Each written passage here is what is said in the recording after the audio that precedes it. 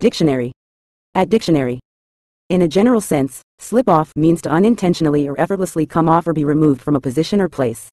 This action often occurs smoothly and without much resistance, typically due to a lack of friction or secure attachment.